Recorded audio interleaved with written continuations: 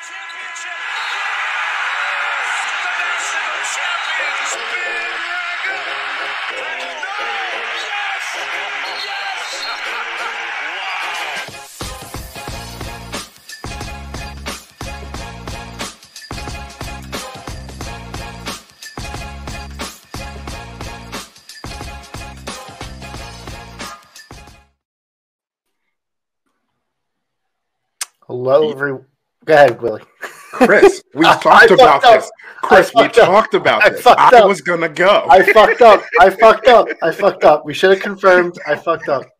Go ahead. Go. What's up, everybody? It's Chris, Trevor, and Willie here with the full 40 coming at you live from our individual homes. Chris is fucking this up already, so we're gonna get this better next week. I'm a mess. I'm like the old guy who can't fucking work technology. It's unbelievable. yeah, Emmett says full 40 trying to do an intro challenge. yeah, we can't. good. we can't. We can't get off the ground. All right, if you're still listening, we're presented by Homefield Apparel. Um, All right, Chris, take it. I don't care. I, I know. I don't. I don't even know. What are we even talking about? What's what's? Is there I a mean- season going on? Yeah, there's a season going on. We played a basketball game. Um, I think the first thing probably do is for me to address the nation um, with what uh, specifically UConn Nation. Um, no, I'm not addressing anything. I'm proud of myself. that game went exactly the way I hoped it would, except we lost. So you know, what are you gonna do? Yeah, I, I want to address that actually. Everybody that was like bookmarking the tweet and beating their chest about how ridiculous you were and everything, I was just like, you're the number one team in the country. You escaped with a one point win. It was an awful game. Well, it was a great game to watch. First things first, it was a great game to watch. Yeah. I'm sure UConn fans were miserable um, until the very end. But I don't think there is anything for you to apologize for, Well, Willie. no, nothing at all. What's actually fu- fucking hilarious though is like the whole take was more measured than that. But at one point, I was like, well, if like. I was like, the clip doesn't really show that, but I was like, we fucking clipped it ourselves. Like we we did this. we put out the damn media- Yeah, That's the damn media. works. I was like, oh yeah, I clickbaited myself. I was like, yeah, because I was like, I definitely go ahead and say like, you know, I thought there was. I said I was like sixty five percent sure, and then thanks, Susan. Um, and then the I think what was the funniest part to me was just like, I mean, I got a lot of got a lot of you. I made a lot of UConn friends, is what I'll just say. You know, I love being out there. Uh, some people call me a bitch, and I was like, that's fucking hilarious. Um, It's just I- weird. it was just like, what am I gonna do? I'm on a Villanova podcast. I'm not gonna like go here and tout UConn. But what was like just funny about it was like I didn't even say like UConn's bad. Like I, I feel like I've said all season Creighton's bad. I've been on the record as saying that. I had never said anything wrong about UConn. I was just like confident in Villanova. Um, but here we are. But that was a lot of that was a lot of fun. A measured take. We're not having this conversation. So you know what? They they called you a bitch. Most of them were actually pretty nice. They were more like, aha, Yeah. gotcha, but like Yeah. whatever. They were mostly pretty nice. No one called you Hitler. No, yeah, I didn't get called Hitler. No one called you Hitler. I will not make that. Ver- I will not make a Providence uh, game. Uh, what's the prediction? Willie is not basketball Hitler, but but Ed Cooley is. When is that game again? it's Uh, on Saturday. Saturday, right? I. Saturday. Oh boy. Yeah. Oh yeah, this one. Yeah. God bless them. yeah, we'll, we can touch on that a little bit later. We should do a Yeah. little bit of a Big East whip around, but Yeah. like, uh, but yeah, well, I guess maybe talk about. We could talk a little bit about the game. That's It- about it. It went exactly like we thought it would in that there were several minutes of us not able to put an offensive possession together. Um, then there were several minutes that we couldn't put a defensive possession together. Um, it was pretty much a Villanova game. Uh, the uh, obviously we, the, we played the game that Willie needed us to play to get the win. so you knew you needed an ugly game for for us to be able to win that game like like against marquette everybody in the world knew we came out shooting too well to win that game and the score was going to be too high but um that was exactly the formula we needed unfortunately we had you know you start the game down 11 I crawl your really- way back. Just a fucking handicap. It's Yeah. crazy. It's like I get onto a golf course and I'm like, ah, you know, 10 strokes. I get onto a basketball court, 11 points. I hadn't even started watching it. I was like still driving back, and I look at my phone and I see eleven nothing. I'm like, damn! And I just see all these UConn people. Like, I'm like, you know, we got you right exactly where we want want you, and we almost did. You know, we almost. If we really look at it, we won the last 35 minutes of the game. So, who's laughing now, UConn? Over the wait last 35 put minutes of basketball, you're losers. Yeah. Um, the uh, funniest part was we do this thing at, at home Villanova games where we don't sit until we score our first. The arena I forgot about that. for five and a half minutes to start the game. It was just, Oh, and I was in like a standing room section, so it was like perfectly fine. I was like everybody else has to suffer with me, kind of thing. But I just looking down and everybody's just standing like the. It was a great game. I'm not gonna. It was obviously an unfortunate ending, um, and you know mistakes were made throughout, but it was a fun Yep. game. It was a great atmosphere, too. The, The the, atmosphere. the home atmosphere was legitimate. It was definitely really good. I, I joined, briefly joined a UConn space after, and there's a guy who they have who goes to like all the different away games. He tries to, he's, he's been on like a road tour. And he said that, believe it or not, this is crazy. He said, he said, based versus all the other schools that he's been to, Villanova student section was the best. And it was like the craziest, most hostile atmosphere of all the games that he's been to yet.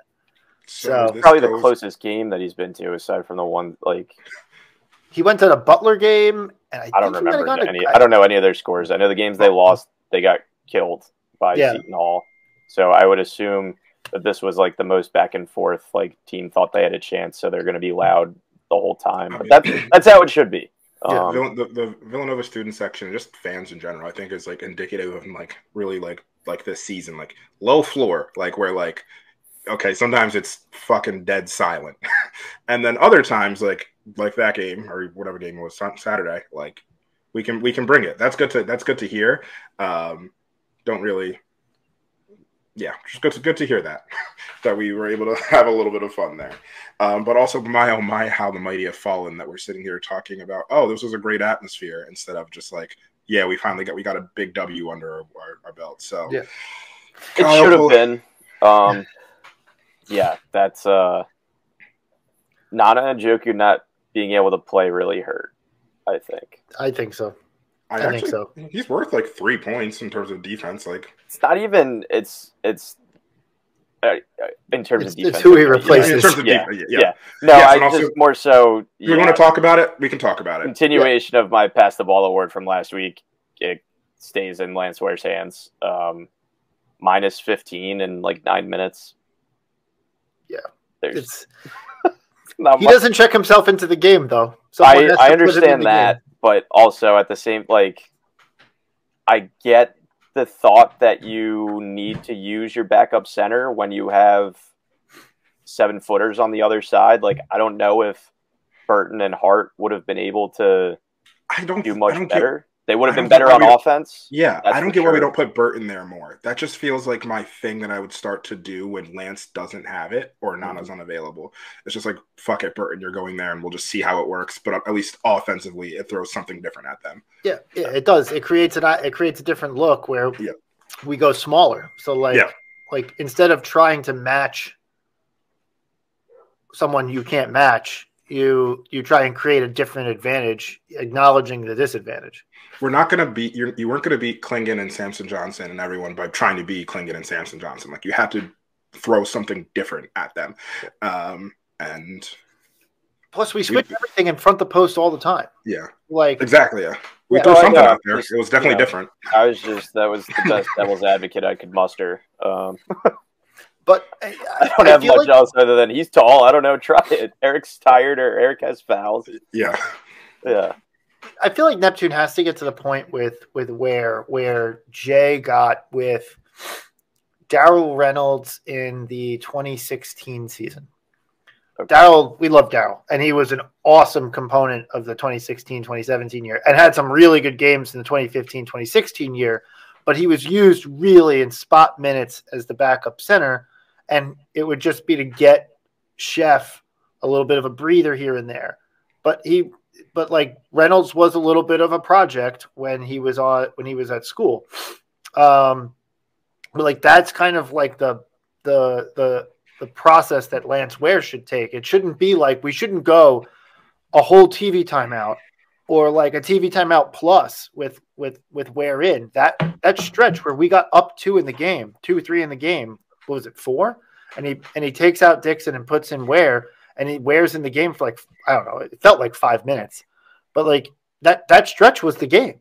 We went we went back from up four to down nine. I don't know. I think it was nine. I think we went down four to down uh, up four to down nine. It was a 13 point swing.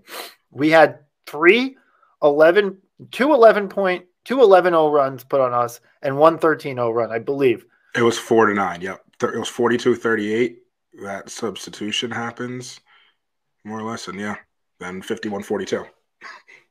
Yeah. But if you don't count those runs, as you said from your friend, we win 61 to, to 35. 30, 65, 65 to 31 or some Yeah. crazy shit like that. Absolutely insane. Seven and a half minutes, 35 0, 32 and a half minutes, 65 31. So oh, God. if you hear me, UConn Nation, if you just don't count those seven and a half minutes, we beat you by 30. The full Flip it. 32 and a half minutes. But it's, uh, yeah. So the comments, the kill shot chart, which has been circulating Twitter for a few days, like we knew it was bad. we didn't. Seeing it on a chart hurts. Seeing it on a chart is Felt just personal. yeah, yeah, yeah. yeah, we are um we're setting new heights to uh to metrics here this season, not in a good way. I was like interested, and I might try to do my own research on it at some point. But like historically, where does that fall at? Like, because it feels absurd that like just historically where that's at. Um, It feels like whatever the Top opposite- 75, yeah, just to be clear. it feels like the opposite of whatever the uh, yeah, 2018 team was doing. Like if if we play if this team played the 2018 team night in and night out, it would it'd just be like the opposite ends of the spectrum. if this team played 2018, I, I've, s- I've said this before. 2018 was actually like the meanest Villanova team we've ever had. Like they were just not actually nice, but they were nice. Um, they probably win by like 48. Like I 48, yeah, easily. 18 does to this team what this team does to DePaul is what I'm Yes, hearing. yeah, yeah. Coach head coachless DePaul. Um, But there would be still 20 minutes in that game where this year's team beats the 2018 team. The other 20 minutes, it'd be down 60 0. But, um, but just to explain to people who might not have seen it, Evan Miyakawa, who is who does he's a big stat nerd on thing, and I say nerd in like the kindest terms, like this, Chris is a nerd. He's allowed to call people nerd. That's right. Um, he he has a great uh, he has great websites. Great, he puts out great um, all different types of like nuanced ways to to digest data from college basketball. And this thing called a kill shot, and a kill shot is a defined as a he defines as a 10-0 run, and he tracks who goes on offensive kill shots, who goes on defensive kill shots. We in the top 75 of college basketball by a large margin give up the most kill shots. So like when you think like, oh, we give up these 10-0 runs just like breathlessly and it feels like it happens a lot. Statistically, we do and it's more than everybody else by a lot. like really bad. And so and so our inability to score, which was something that was like in in spurts, which was something that was true last year and it's more true this year, is statistically proven to be accurate. So if you feel that way, you're backed by science.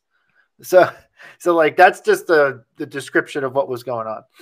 Um that was the game. It, it was those three. It was those three kill shots, Yeah, and it was the two uh, the two more plays, which I which I gotta be honest with you, I, I, I it's it's on I, I that's on him. Yeah, what, the Fool way once. Yeah, the Plus, second, second they yeah. call the first one, you you can't do it again. Even if the first one I thought was a flop. Um, yes, Justin puts his hand back there, and that helps the ref make the easier call. And I don't think he really made contact with him, and the dude just sold it. Um, but once he makes that first call, you cannot go for it again. Yeah, I, the, the worst part about smarter this, than this. he was beyond the guy in the second Yeah. one. He didn't even need to throw his arm. Yeah. yeah. it's That was also tough. just when we spoke about this, like we do this every fucking game, and every game we have to come back from this, and it's just like, heck, maybe just it's a six nothing run, you know, and then we. Uh, I don't know, Kyle, a hard foul, a timeout. I don't know what we need to do to change this, but like something because it's just like we are putting ourselves behind the eight ball every single time. And like this UConn game, I felt like it. Marquette, I felt like it. Um, I don't even remember whatever. Like those, those are the most two John's, recent ones. St. St. John's, St. John's. I mean, St. John's. Where- yeah, St. John's is probably even a better example. Where like we put ourselves behind the eight ball, we work our ass off to get there. We get tied or we get within one, and then of course, like the other team adjusts, make the makes the adjustment, starts making baskets, and then we don't do this anything, and then boom, it's a 8, 9, 10, 11 point game all of a sudden. This is, I mean, we. You want to talk about narratives? Like we haven't called it a narrative all season, but like this is a narrative. Like we give up too many runs and we do not adjust whatever that adjustment may be, whether it's getting uh, substitutions right, whether it's something we need to do from a, sch- a schematic standpoint. We give up way too many runs, and we're just not like if you look at the chart, which is interesting. Like where we probably do the same amount of 10, no- 10 nothing runs at the same level, but we give up like no one else is giving up 10 nothing runs to other top 75 teams at the level that we are, or just any team. So I don't know. Uh, something's got to give, but like it is the single biggest.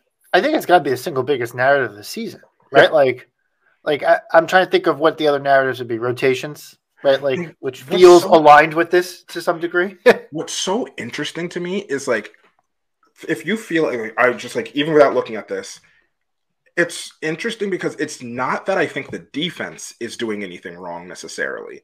It's just offensively the water shuts off Yeah. for four to six minutes at a time, and like And most teams can score points in a four to If six minutes. most stretch. people, most teams can score ten points in six minutes. Like I would be curious to know like how many of these are stretched over like a th- three plus minute span. Like I don't think a lot of these are instant blitzkrieg. Like okay, four straight threes and we're down all of a sudden. It's just Marquette that- was, but other than Marquette, that, yeah, Marquette was, but like not many of these are like this. Like, well, I what was it? We were UConn didn't score for like five minutes, and we still were down five or whatever it was. I can't remember what what the actual what whatever happened, but like that's just a. I mean, if we make the tournament, that's just going to be like the number one thing every like every talking head talks about. It's like Villanova will give up a run. The question is like, do they have the lead when they give up the run, and are they able to hold once they do give up the run? It's just at this stage, you just got to you got to build it in. And It's not weird. one run, several runs. Yes, Yeah. yes, several it's runs. so weird because it's like, it's like the team fights, right? Like, like it's, like, it's Fights like their ass wanted to off. fight, but why did you have to let it get there Yeah. to begin with?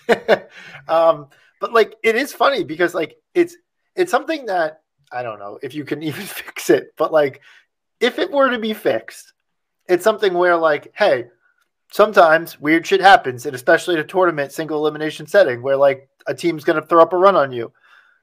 If you take about talk about attitude, right? Like, and Yeah. you could like actually have the experience in real games dealing with it, it probably does become a little bit easier to like manage back into a game after you've given up a run. They just need to not have it happen three times a game. It needs to be like once. If it went to overtime, it was going to be four times. So, Yeah. I mean, eh, the the other thing too is I get Neptune not wanting to call his first timeout within the first like four minutes of the game. Like the first within the first TV timeout, I get not wanting to call timeout. I was begging for it. But yeah, like aside from that, he needed to have called time. He did call timeout the second one. He did call timeout the second one, and then the third one, I I think we just hit a TV timeout naturally. Yeah, but like you see some of the best coaches in the NBA, like the start of the second half, like the first two possessions don't go their way and they call a timeout like 44 seconds into the second half. And it's like, okay, yeah, we just talked about this. this is me showing you that this isn't you know like people do it. Great coaches do it. Neptune, I get wanting to hang on to your timeouts, but certain point when you're down four with three seconds left, like what good is another timeout? I you know. Yeah. It's frustrating.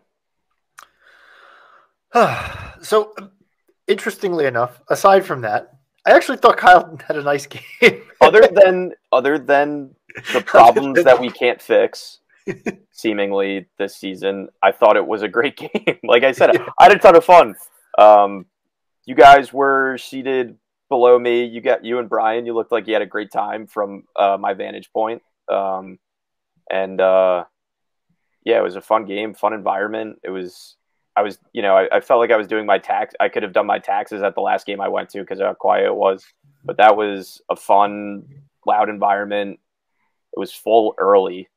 Um, yeah. Even going back to when I was a student, like Wells Fargo games would never fill up before tip off just because everybody would still be outside or at Xfinity. But I think um, everybody kind of realized the moment and, uh, and what this game was going to be, and and they filled up the section, and it was uh it was a great environment. Just yeah. you know, came up a little short. There was a few things that I want to point out to the positive side. I don't want to be overly optimistic guy here, but I know we lo- I know we didn't. I know we still had the same exact spurts of not scoring and whatever.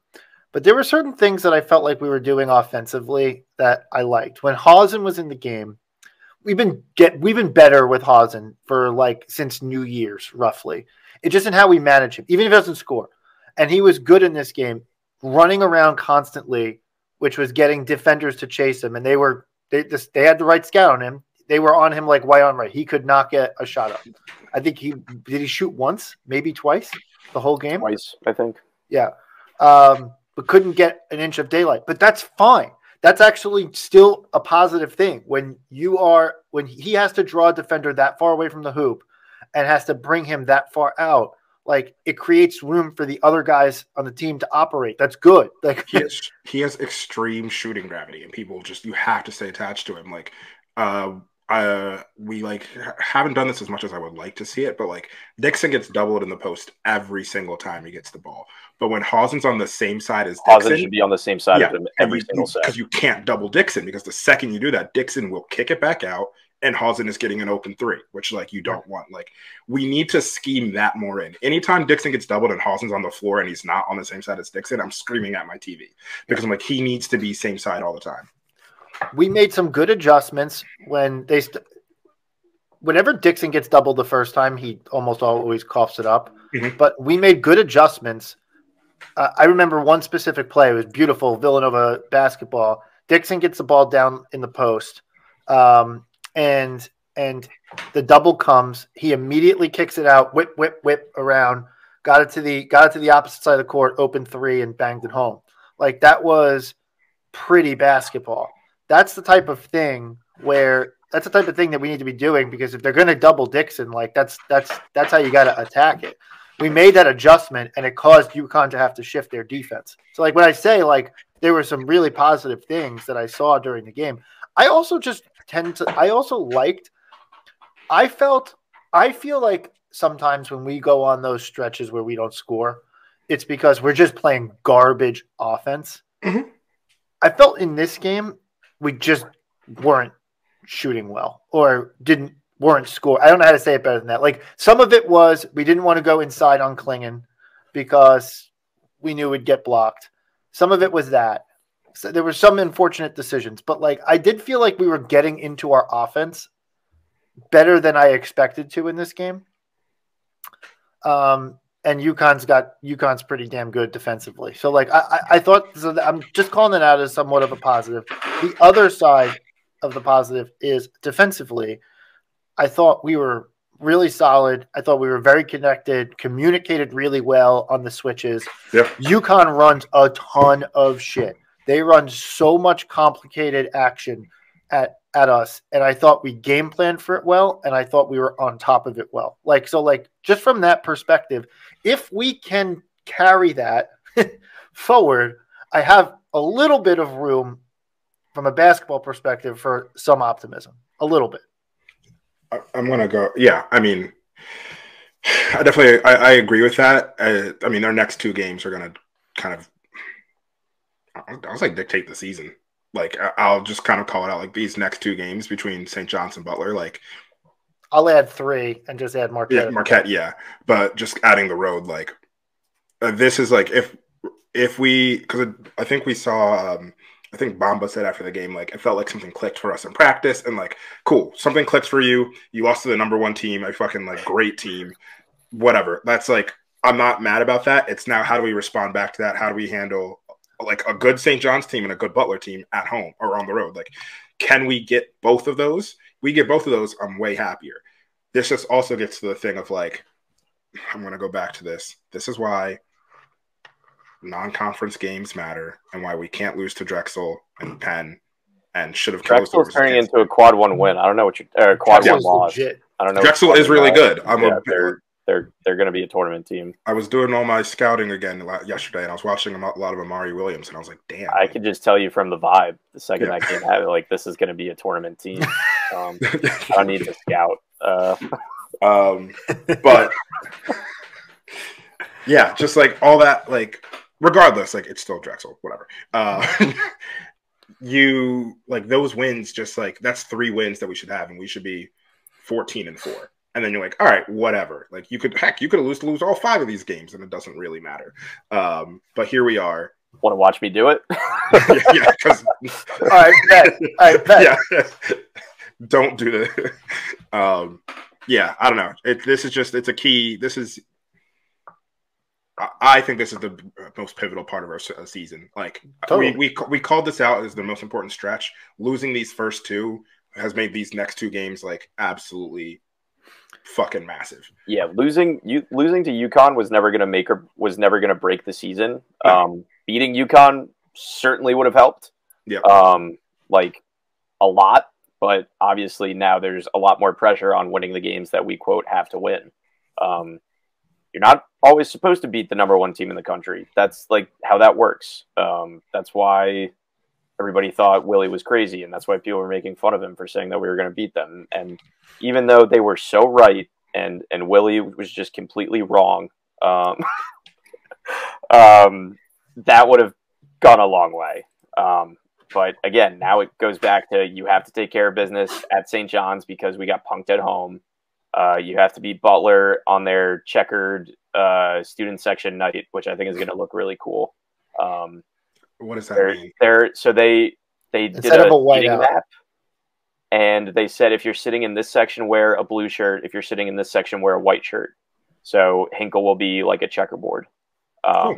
So I think that'll be aesthetically pleasing. Um, Yeah. But we also wear blue and white, so kind of playing yourselves, Butler. Haha. Um, so does every other team in the conference. know, other St. exactly. John's. um, but yeah, now I kind of consider these must-win games. Um, so I say it's must that we get two of the next three. Yeah. we got to gonna get two. Challenge Kyle Neptune. 16 straight. Show us. Can you win 16 straight games? Yeah. I don't even know if that. I don't even think that gets us to the title. Actually, but like, regardless, I'll take 16 straight wins no matter what. no In, matter where um, it takes us. after the 2018 Big East tournament semifinal or or opener, I can't remember what it was, and I I unlike me, I had had a few beverages after the game. Was talking with friends. I was like, "We're gonna win the next, you know, whatever straight," and I said like one more than um, what would have been a national championship. And then we did the math the next day. And they were like, you know, that would take you to like the home opener next year. I was like, yeah, we're gonna beat uh, you know, Quinnipiac by thirty when we do it. you know, like whatever it was. So make it sixteen or seventeen straight, and So then I we just can punk Drexel when we start as a Big Six next year. we don't want that. We don't want that. I just did the math. 16 straight would take us. We'd win the Big East final, which means we'd lose the opening round of the No. NCAA tournament. No, which Make would be like- no. be like- straight. That's be so like a- Georgetown. yeah, it'd be like a 3-14 game that we like. yeah. Nope, nope, nope, nope, nope. Don't want that. yeah, twenty straight. Twenty yeah, straight. there we go. 20 straight. Yeah. 20 straight's good. Um, we the um, what was I going to say? Yeah, I, I think I think it does put pressure on the next the next three for sure. I mean, we talked about it beforehand. We had to go two and three in this stretch. the as as a whole serve thing. I, St. John's is desperate. They're going to be very desperate because they're also mired in a little bit of a losing streak. We're They've kind of in the same place we were when we played them. Like both of both programs are in the same place we were when we played them two weeks ago. Yeah, we, we no, neither of them have advanced. Yeah. Like we got bitched by Marquette, they got bitched by Seton Hall. They lost by one to um they lost by one to Yeah. Creighton and they lost by one to uh Marquette. I was gonna say. So they they they played Marquette tough on their home floor, held the lead most of the game, um, and then lost by one. Uh, so so and they really struggled with Seton Hall when Pitino was out with COVID. Uh, so so they have not advanced their season really after beating us. So they're desperate too. So they've they've lost three straight. We're we've lost three of four, and the one is now head coachless DePaul. Um, so it is. I I mean, this is a. Both teams are coming into this game feeling like it's a must win on Wednesday night, which is going to be difficult. And we have to flip the script because we got punked by them in our own building last time, straight up. Um, that that was that was an ugly uh, an ugly showing the last time out. We did, we we gave up an early lead and never got back into that game. So we had we had to find a way to slow them down. It was Marquette and St. John's, same story. We didn't slow the game down. We didn't do what do what we do, as they like to say. But like we didn't do what we do. We did what we do versus UConn. Didn't come away with the win, but we did that there. So, but we have to find a way to make that game a rock fight in the Garden on uh, on Wednesday night.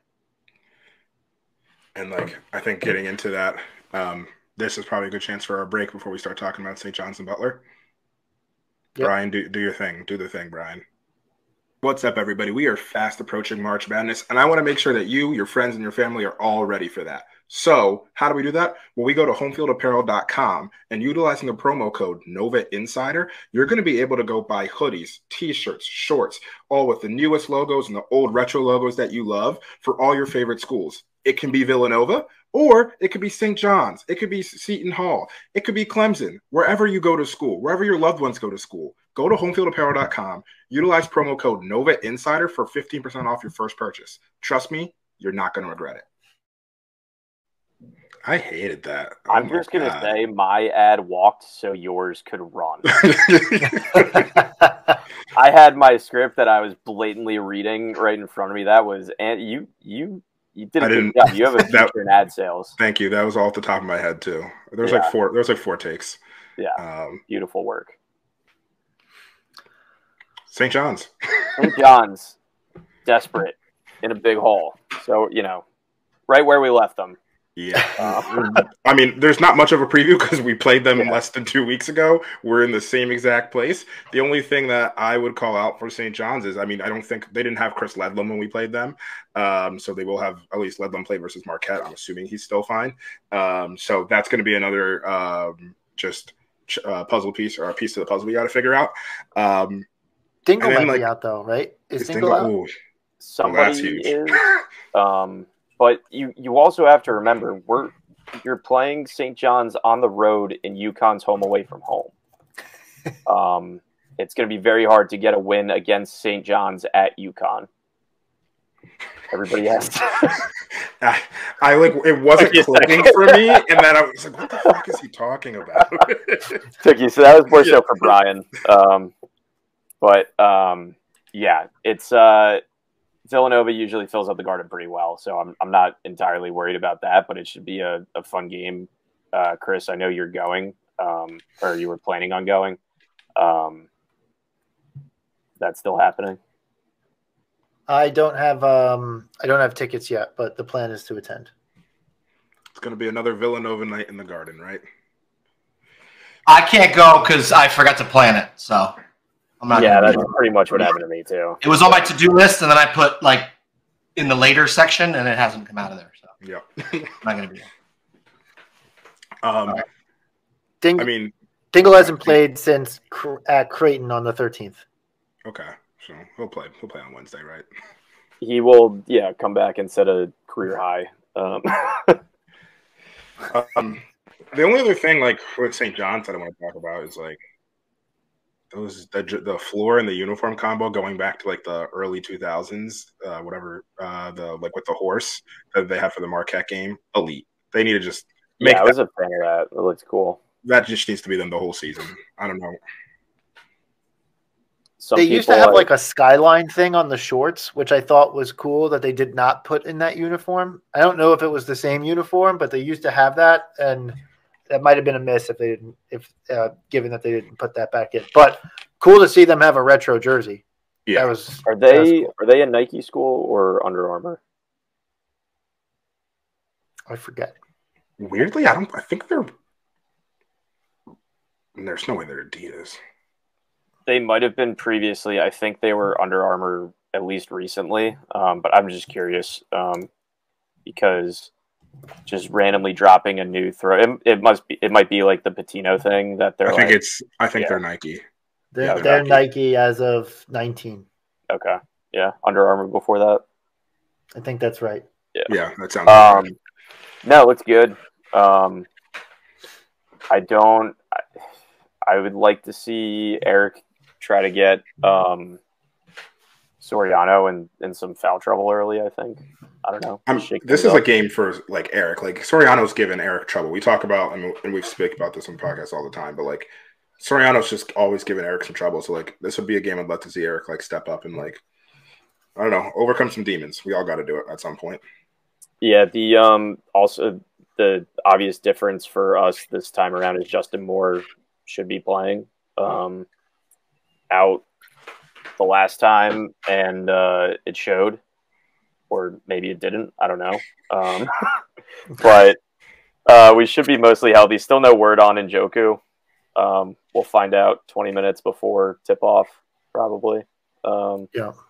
actually they've been since we were like complaining about it both on and offline with when we were talking to the st john's guys um, uh, they've been more active about releasing that report at least like first thing in the morning instead of a couple hours before game time Agreed. I actually have noticed that too. Yeah.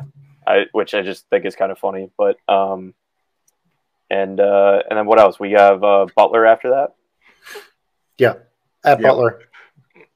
Definitely can dive into Butler. Um, Yeah. One thing I want to call out, just as an aside, Embiid hit 70 points. Yeah, I know for anyone who's been checking. Um, Cat But- has fifty three to start the second half, so it's uh, it's a big night for centers playing really bad teams. Um, uh, Charlotte. So to give everyone a Butler preview really quick. So Butler, um, you're going to see a familiar face, a familiar Biggie's face um, leading off, um, who some people may be a fan of, others not as much. Uh, Posh Alexander is on the Butler Bulldogs. Um, Posh is kind of just being Posh. Nothing really. I don't think anything has changed. You know exactly what you're going to get out of Posh. Um, the two people I really like on the Butler team, um, I've kind of we spoke about this with um, Fanta, um, and Fanta called both of these out as like under both of them out as underrated players. It's Pierre Brooks and Jahmyl Telfort. Um, Pierre Brooks um, is a they're both wings, both about six six six seven. Uh, both uh, are shooting very well, or shooting like from the floor well. I would say overall. Um, Telfort gets the line a good amount. Um, yeah, Brooks is uh, Brooks is a really good shooter. Telfort is kind of under um, under or I would say below average. That's the word. Both are transfers. Pierre Brooks is transferred from Michigan State, um, and Telfort has transferred from uh, Northeastern. Um, so both big wings who like do a lot of different things. Brooks is more of a shooter. Telfort's more of kind of like the connective, does a little bit of everything. He's going to rebound the ball. He'll pass it. Uh, piece. Not, neither of them are like plus athletes, but uh, they should be fine matchups for us. Like we should be able to get um, match up. We're like as we said, we're a really long team. Um, they also have um, a couple big men in uh, Jalen Thomas and Andre Screen. I'm actually not really familiar with Screen at all, um, but Jalen Thomas, another big man, um, does a pretty good job. Um, uh, Six ten, really good at blocking, uh, protecting the rim. Thomas was on the team last year as well. Um, and then there's a, a bunch of other ancillary pieces. I know he's probably going to be pissed off that I called him an ancillary piece, but like DJ Davis um, is more than ancillary piece. He's their other guard. The good thing about their guards is they are undersized guards. We're dealing with you know six one and six foot, so our traditional way of posting uh, posting up guards and having Justin back should be good for that. Um, but we know Posh knows how to handle that, and then DJ Davis. Um, yeah, we'll see how he's able to handle it as he goes into it. Um, fun fact about DJ Davis: he's shooting 97% from the free throw line. Um, but he also is a transfer from uh, where is he transfer from? I don't remember. Oh, UC Irvine. Um, so another just new person in the Big East. Uh, it'll be interesting to see how we match up with him. Uh, he's really dynamic with the ball in his hands. Um, and then there's a bunch of deep bench people um, that like if they are making a huge impact in this game, we're probably screwed in any way, shape, or form. So uh, if like you know if Landon Moore or Connor Turnbull are putting Turnbull are like doing stuff to us, like we're in trouble. So Are we gonna Yeah, get loquacious again? Is that the name of the guy? yeah, uh, yeah, Who that's Lukosius? yeah. Lucocious or whatever his name is. Precocious, I don't yeah. know. Um, no- he's not on the team anymore, right? No, he's not. Yeah, I don't know where he is, but he's definitely I don't know, but he's got his career high to, against us to Yeah. you know fall back on. And then obviously the I'd say the number I mean like this is a senior Leighton Butler team. Like if I'm looking right at it right now, we're looking at uh five seniors in the rotation, a junior, and then there's like a couple freshmen and sophomores, but like they're old, they're gonna be smart, and we're playing in uh Witchcraft Central Hin- Hinkle Fieldhouse. So like we know some fuckeries about They're happen. preparing their spell early. Yeah. Yeah. People what shirts to wear to be able to summon the spirits. Um, so What's what's the guy's name from Hoosier? Hoosiers? Jimmy? Jim Chitwood. Jimmy Chitwood, yeah. They play a little bit faster than Butler years of old. I think they're one fi- around 150 in tempo. So like Butler always used to be like a a really slower drag them out team. We have to be careful with that because we've now played a couple teams that like to play a little bit up more up tempo, and we tend to get dragged into that with them. We should try and avoid that. Just again, just like, do I want us to play faster than 350th in the country? Yes. Do I want us to play 150th tempo? No. Yeah. They are, they are. I mean, Georgetown and DePaul are by far the worst defensive teams in the conference, but Butler is pretty far away from them, but Yeah. pretty far away from everybody else too. To the to the negative, they're around 100th um, ranked in terms of defense, so we should Yeah. be able to score here. Um, so like that, those are just two style points that that I'll point out, and then I know you called out some of the players. Brooks, Brooks and uh, Brooks and DJ Davis do a lion's share of the shooting from Yep. from three point range. They're like an okay three point shooting team. Brooks is very good. Um, We actually, if you remember, we Pierre Brooks. I don't know how much he what he did versus us, but when we played Michigan State, I'm gonna look up how he did versus us. I don't remember what he did, but we did play him um, when we played Michigan State last year. Butler has also been in a little bit of uh they've been in a little mini funk. They beat DePaul and they beat Marquette. Like interestingly enough, they beat Marquette a few right before we played them. well, that was when uh, Jones tore his ACL. Yeah. Um, so kind of a fluky game. But then they lost to Seton Hall in a in a really fun that was a really fun game they played Mhm. for Seton Hall. And they got beat up pretty good versus Xavier before Yeah, pseudo it- handling DePaul. They only beat DePaul by 14, which doesn't seem good. So they've been in a little in bit of a uh, funk. I'll in call the them middle of the standings. Yeah. So uh, this is look. This Butler team is a lot better than advertised coming into the season, but they are still. It's still a game that like you got to get one of the next two. We talked about. We we, we keep saying you got to get two of the next three. Got to get one of the next two. Yeah, Um, and it's interesting. I was just looking at the uh, the KenPom predictions. KenPom has us losing to St. John seventy four to seventy two, has us beating Butler seventy three to seventy two, and has us beating Marquette seventy two to seventy one. So like the next three games are 73 points in the next three games. We're golden. yeah. The next three games are all like supposed to be nail biters. So we'll see. It's gonna be good for my agita. Yeah. it's exactly what I wanted. um, the best thing about um, I might have tweeted it. Um, the best thing about being in like a standing area for the game and my sister and my friend that were with me can like attest to this. After any play or whistle or anything, I had all this room behind me to just like anxiously walk off whatever happened um, or didn't happen. Um, it was just nice to be able to like roam um, and do my pacing while at the game instead of being confined to my row or um, or my seat. So, highly recommend. You want to know something interesting? I don't, I don't know. I'm just on the side. I was looking, diving into some stuff. T- looking at uh, efficiency. I'm on T rank. Looking at efficiency profiles. L- I wanted to know like what we Villanova looked like historically. Um, the team we're most like, as of right now, is the 2011 Butler team. Yes, the eight seed that went to the finals. So, ladies and gentlemen, pack your bags for Phoenix. We're gonna we're gonna we're gonna eight seed our way there. Clip this and put that up there. No, don't. I don't want. Who? Would be the first eight seed. Who, who's our Gordon Hayward? That's what I was going to ask. Who's our, Who is who is? Brendan Hausen? Clearly, He's not a starter, so I feel like that's He's also not a power forward or a small white. forward. Tyler Burton.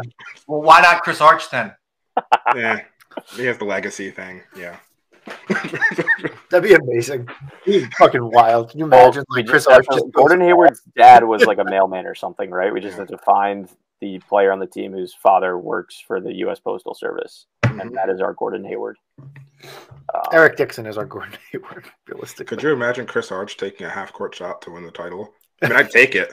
I mean, clearly, right now, clearly, I'd I would take rather give it to Mark Armstrong. yeah. Is that the play you drew up? Is that really the play that we drew up? I would the the my favorite moment of that game was the second Mark got the ball on the inbounds and before he took the shot, I was like, "Well, you know this is going in," and he drains the half court shot to absolutely ruin the spread. Absolute Vegas, murder. you're on, you're on my watch list. Vegas, what's up? You, so you got funny. some kind of The entire game, my friend that I was sitting with mentioned how um, he's been so cold with his sports betting recently that he he bet UConn um, plus one and a, whatever the I don't know the terms. He he put money on UConn, thinking, okay, I've been so cold that I'll probably be wrong and Villanova will win, and I I'm good to you know spend this money for a UConn win. And until Mark hit that shot, he was like, "Oh, I'm fine," you know, like it's it's all good. And then Mark hits the shot, ruins the spread, and he double lost. double lose. He had a one point window to double lose, and he did it. which was brought up before the game. He's like, "Ah, that won't happen." And uh, the second it left Mark's, before it even left Mark's hands, I was like, "Well, you know that's going in." And then just it was he he swished it right. There was there was nothing nothing but net on that. I'm pretty sure. Yeah, no, it was clean. Yeah, just awesome. Trust Mark with my life anywhere foul line extended and beyond. Uh, you know, 10, 10 feet beyond the three point line. Is it time for our new segment? Do you want to do uh, Wildcat of the Week, or should we? I think we kind of did the Big East whip around, right? We we talked St. John's and Butler. Um, Ed Cooley's going to have the worst weekend of his life. yeah. We should probably talk about Um, Cooley. Um, yeah, we kind of hit on that. Yeah. All I right, was let's just- hit that real quick. I was gonna say one thing, just even about not about Cooley. I was looking at the Big East standings. I love the Big East. It's so good. I'm It's so such a happy we're a part. I'm I'm so happy we're a part of this. Just shout out to Val, doing a really good job. Shout out to all the programs. Even yeah, even you, Georgetown. We're giving you a shout out. DePaul. It's a DePaul big day for finally- DePaul. They fired DePaul their finally- coach. yeah. Which mid-season firing we spoke about like that doesn't really happen. Yeah, Like th- that's how bad it is. Like there are people who have active investigations who are who are still held as the coach of the team, and yeah, to, Tony just like I mean, basically what ev- everything I gathered was just like there was just kind of like, for lack of a better word, like an embargo on like funds, NIL funds to, to for DePaul, where they're like, we're not gonna fucking support this program if this is the way it's gonna go. Um, so they have to do what they have to do. Who do you think would be the best hire for them? Like the most fun? They should just hire someone fun.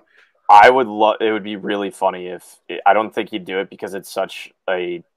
I don't think the move is worth. Uh, Bobby Hurley was one of the names that was I saw that, yeah. and I thought that would be really funny. Um, but I don't think it makes sense for him to leave Arizona State for to try to revive DePaul. Yeah. Um, he has to try to revive Arizona State. also, it's like really warm there, and like I wouldn't want to just go to Chicago for Chicago. you know. Um, but yeah, Bobby Hurley would would provide the most content, I think. Um, Jim Jay Harbaugh. Jay Wright. Harbaugh, Har- right? Yeah, one of them. um, or uh, Belichick. Belichick. Belichick. How did you get that wrong? I don't Um, think you would call me out on it. you called Chris out on the bomb bomber jackets. That's what I was laughing. Um, The Will Wade, I think, would be the uh, is like just it's I, entertaining. That's still an entertaining hire. Will Wade comes in and DePaul's cooking immediately with some illegal shit, but they're cooking. No, well, it was It's illegal then. now. Is now Yeah. good. you can now do that. but what about the strangle guy from Texas? I forget his name. Beard, he's at Ole Miss. he's that old Because man. There's a lot less police presence in Chicago, so I feel like the call that would be made by his wife while she's being strangled, they, they come later. He'd be able to clean up quicker. Jesus fucking Christ. Jesus Christ. Yeah, I can't even think of face for that one. That's so bad. Holy shit. Oh my goodness. Uh, where do we go? All right. Matt Le- Get Matt LeBeau on here. Get Matt Yeah. LeBeau on here so Uh, we can so we can get some Oh man. this week's uh, random wildcat of the week. Uh, um, so because I still haven't sat down and, and made a list to just randomly generate a number, I asked Chris for his uh, his selection of a of a graduation year. He Wait, supplied what? I gotta do the. Wow. Oh. Wow. Wow. Wow. Wow. Wow. Wow. Wildcat of the week. Wow. That's Owen Um, Wilson saying wow. So our wildcat of the week comes from you from the 2009 uh, Final Four team, a uh, a guard from Bayonne, New Jersey, The Bayonne Bomber. Bayonne Bomber, Corey Stokes, famously the most successful player that Dan Hurley has ever coached. Dan Hurley was his high school Yeah. coach at Yeah. St. Benedict's. I had Wow. I kind of did a double take because I knew he went to St. Benedict's, but I did not remember that Dan Hurley was the coach at that time. So let's That's talk cool. Corey Stokes. Chris, he was actually your contemporary. Yeah, Yes. I love that word. so go Yes. go for it.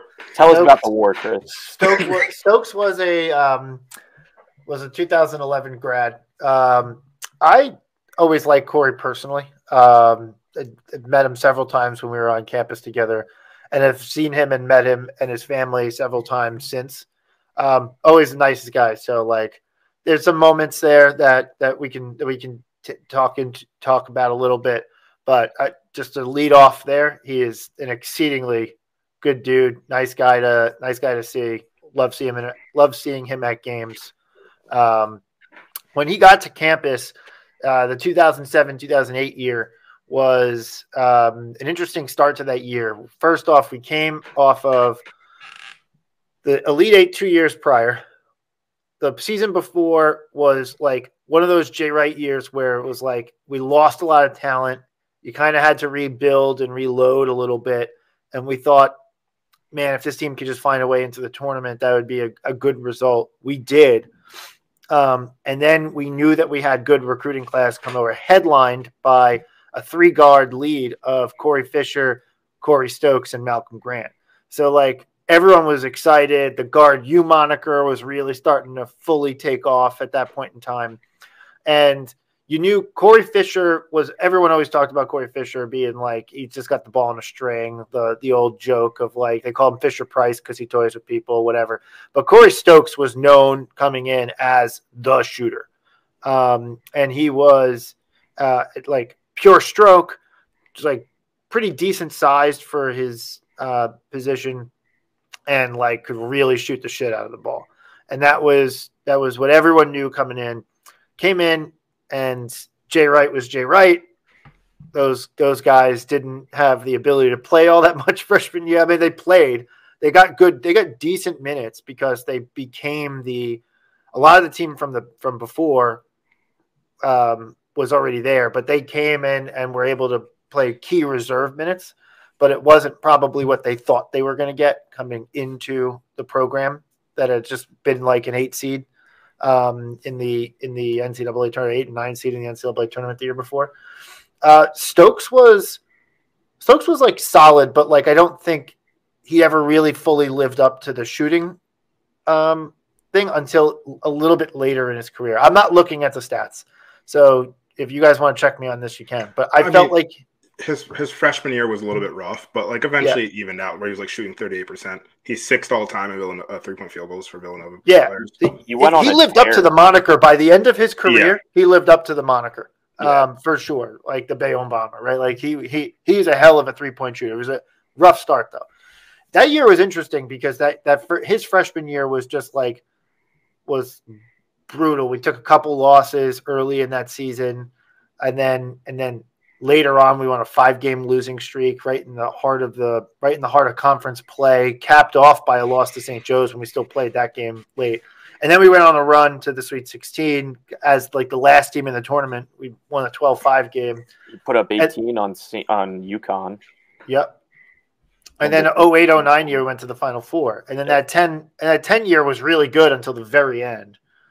And the 11 year had a really good start too. So he uh, look, I I'm trying to think of like some key moments for for Stokes. I remember we played Marquette my senior year. So his he was sophomore, my senior year, and it was coming down the stretch. Marquette was good and he drilled a three right before halftime, I believe. That was like a really key moment in that game.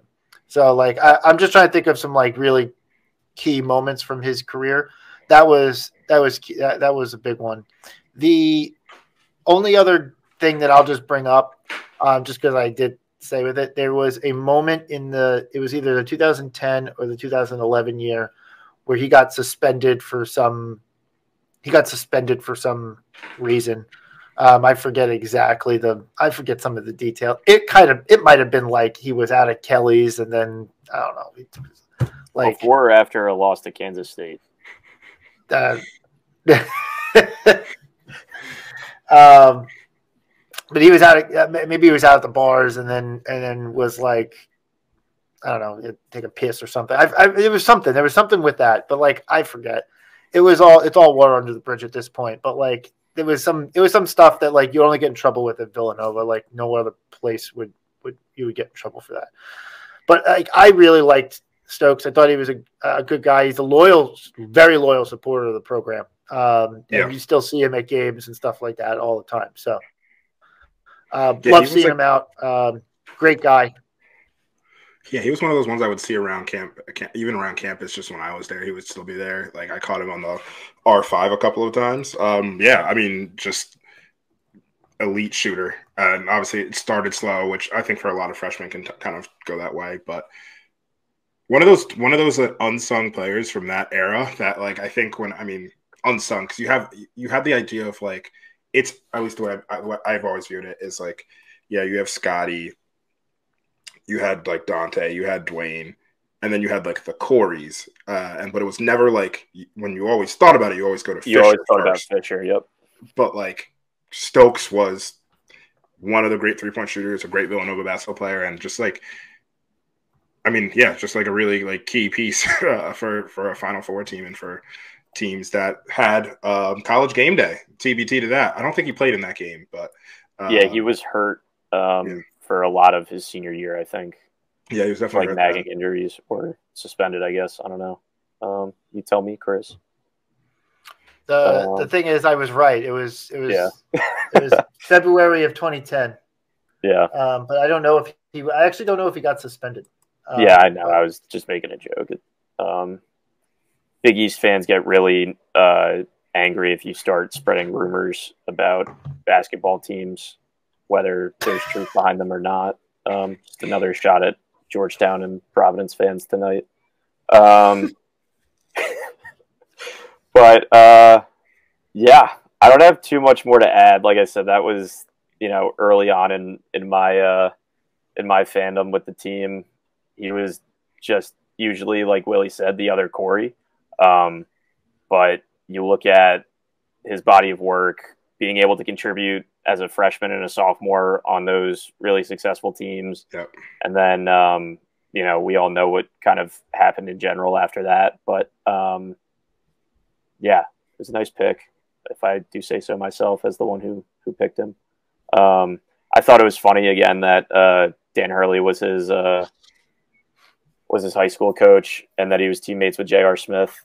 Um, he could have like a really good uh, six degrees of separation kind of uh, kind of thing.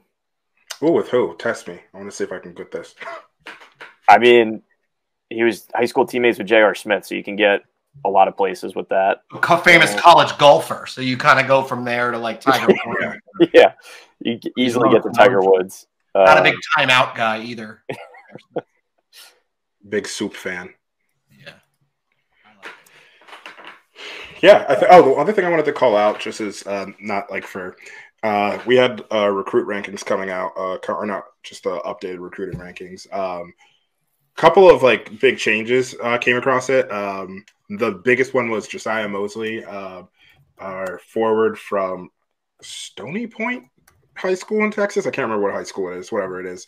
Um, jumped up 61 spots. Um, just so basically, like for like anyone who's like, it's not that. Well, it kind of is that, but like it's not like oh, all of a sudden he's 61 places better. But it's just like as people evaluate more, as he improves as well, um, they kind of re- readjust the rankings. So that there was a jump of, for him. Um, Malcolm Thomas uh, entered in the rankings for the first time, and then Matt Hodge. I can't remember where he uh, ended up falling in the rankings. He also uh, or uh, he, he also rose. I just can't remember to what spot he went in the rankings, but in the 247 top 150, which 247 is now like if you're looking for basketball rankings, like you go there, like ESPN's stopped putting money behind that. Um, but yeah, Matt Hodge, who's from um, Jersey, uh, also went up to I think it's like 60 something as well. I love that we're saying he's from New Jersey. Um, He's from Belgium. It's a, it's a Central Jersey kid specifically. He's a Central Jersey guy. Uh, Corey Stokes is a North Jersey guy. Um, but uh, yeah, and then just out of curiosity, Willie, where's Thomas Sorber on the uh, on the rankings? I'm just just for my own curiosity. Nothing, nothing, uh, Nothing no ulterior Uh, motives. If- yeah, uh, I'll let you know once I. Yeah. once 247 I know you wouldn't have that one off the top of your head. I just Yeah, again, uh, yeah, there's no rumors here. It's just uh, My memory wasn't too bad, by the way, on the Corey Stokes Marquette game. I was just like that was real, like Grandpa talking about the war and having a flashback. yeah. It was a two point. It was a two point win, but it was a two point score. But he got it at the. He it was pretty close to the buzzer at at the end of the half, and it put us up five at halftime. And then we absolutely fucking clobbered them in the second half. We won that game 102-84. Nice.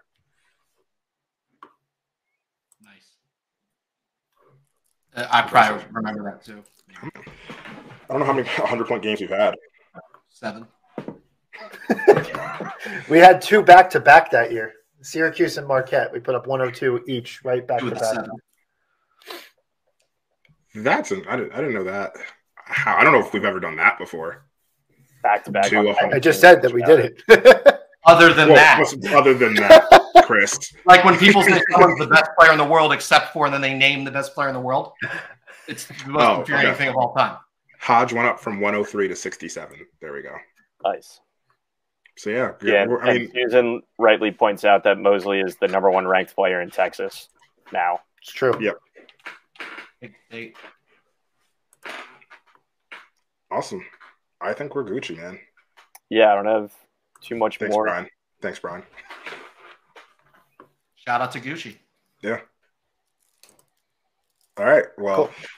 so Chris, do I close this out? Yeah, now? you Is go this ahead. my- Go ahead, is this my role? All right. You're well, good. thanks everyone for joining. Uh, we will be back next Monday. Should be the same time next Monday, uh, where we're going to recap what happened over the weekend with St. John's and uh, Butler, and then we're going to preview uh, Marquette, and I think we have Providence as well on that Sunday. So we'll talk about those. Uh, maybe we'll get a little bit of a heart monitor um, because, if I'm not mistaken, All star selection should be coming All Star selection should be coming out, and Jalen Brunson should be an All Star starter. We'll see if he is, but they should have they should announce it. They might announce it the next Thursday actually, but we'll see. One more uh, quick thing: if if you're real sickos and want to listen to us again tomorrow, we're going to be joining the uh, St. John's Spaces tomorrow night at nine o'clock to talk what's happened to both of our programs since the last time we talked to them on our podcast. Um, that'll be a Spaces on Twitter uh, around nine o'clock tomorrow. Awesome. Well, thanks everybody, and as always, let's go Nova.